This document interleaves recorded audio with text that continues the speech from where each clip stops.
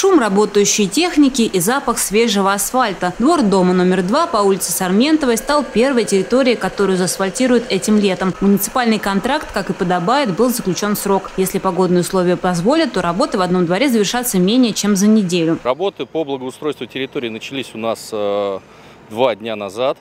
Э, в данном контракте у нас три двора. Это улица Сарментова, улица Икринистов-Недоговицыной и переулок Силикатный. На данный момент мы выполнили работы по засыпке щебнем, э, ям выравнивания, выкопали парковки и сейчас укладываем выравнивающий слой, придаем уклон в воде для отвода воды со двора.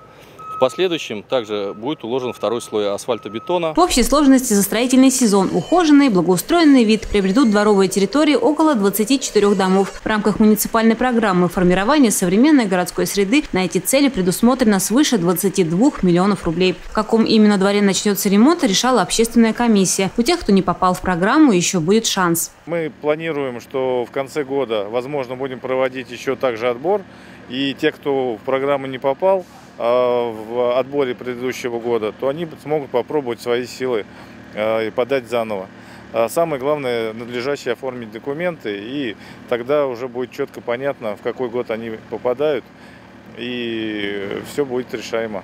За ходом работ будут следить не только чиновники, но и жители. Если вдруг будут выявлены недостатки, то устранить их подрядной организации придется еще до приемки. Кроме того, в этом году мэрия продлила срок гарантии на работу дорожников с 3 до 5 лет, что тоже должно сказаться на качестве. Любовь Почерникова, Михаил Кенгуров, РТВ Иванова.